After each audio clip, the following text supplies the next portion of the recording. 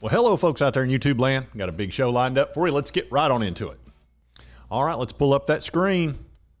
Jacorey Whitted is very high on the Vols, and he this guy is an absolute freak athlete. I watched his highlights, and he's kind of come out of nowhere. He's put on a bunch of weight. He's just uh, a beast on the field.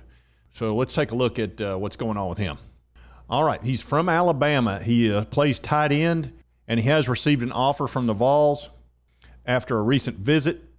Now, um, he visited for the first time in June, and UT was very interested in him. Says the class of uh, 24 tight end from uh, Alabama said he was very excited to get an offer from the Vols during his visit on July 30th. So he's already been here a couple of times.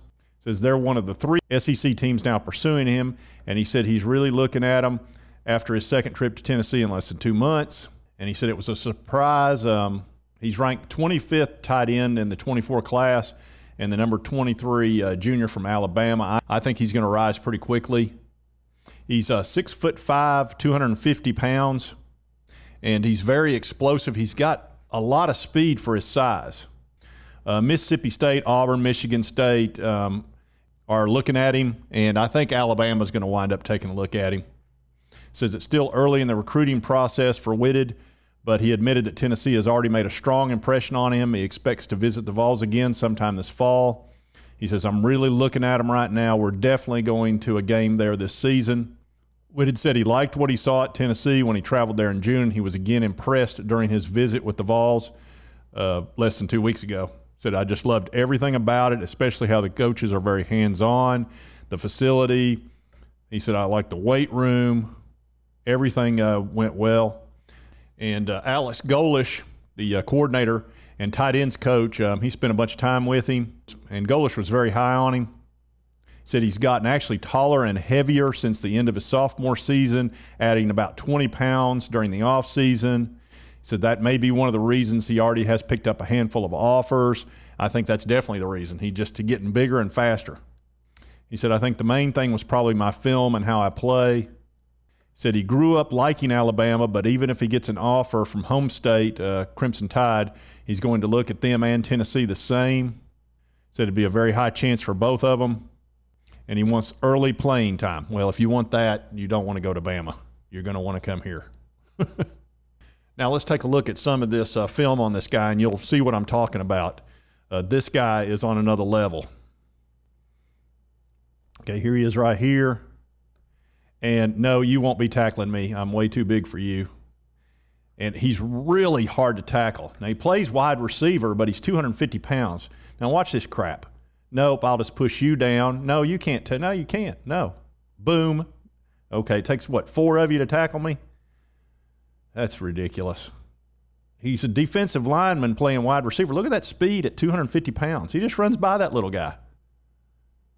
And he's got good hands for a big man. Now imagine you're this little 160 pound guy, and here comes a 250 pound, six foot five dude, and you're supposed to tackle him. That's such a mismatch right there. Just throw it up. And boom, of course, he catches it. This guy's, you know, crap, he's about probably 5'10. That's just, that's really not fair. I mean, when you put somebody out here this big, oh, this is not going to be good. Yeah, you'll, you have no chance of tackling me now. I got my speed up. Boom.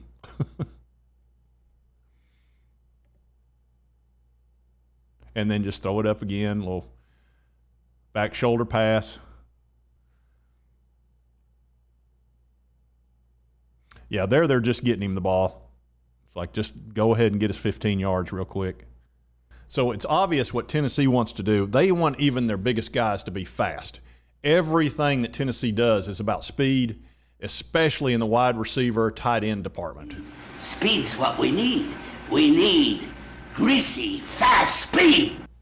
Yep, definitely. And we've got a bunch of speedsters. We've got uh, Squirrel White, who is super fast, runs 23 miles per hour. That's ridiculous. And then you've got Jaylen Wright, who runs like 22.3 miles per hour, and you've got some cornerbacks that are super fast. We have a lot of speed on this team. Jalin Hyatt, I think he's almost 23 miles per hour uh, top speed as well. You know, sub four five, sub four four. It's um, there's just tons of speed on this team, and that's what uh, and that's what Heupel wants. He wants to cause havoc. Not only does he want to go fast with his offense, spread you out, but he wants the guys getting the ball to be super quick and uh, have that top end speed. And, and we've got a lot of that. And he's going to keep going for that. Now, I can tell you by looking at that film, there's going to be a ton of SEC teams interested in this guy. I mean, six foot five, 250, runs like the wind with good hands and can play wide receiver. I mean, that's just a mismatch waiting to happen, especially in the end zone. If you just want to throw it up, nothing better than having a guy that big who can just shield off the defensive player and then catch it. I mean, he'd be ideal for that type of play. And these other SEC teams are going to come uh, come running for this guy.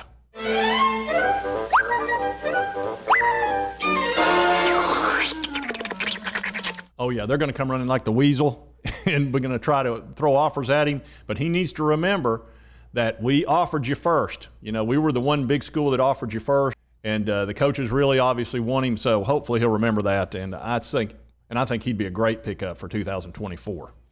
All right, and that's a uh, Jacorey Whitted today. Um, he's very high on the Vols, and I understand that. And the Vols are very high on him. I think this would be an excellent pickup. If you like this content, be sure to hit that like button. Lets me know to continue to cover the Vols and especially recruiting. And if you haven't subscribed, hit that subscribe button. I'd certainly appreciate it. I'm new at this. Only been doing uh, four or five weeks of the Vols. So I can use some subscribers. And I hope you did like the content. And we'll see you next time on Sports Talk J.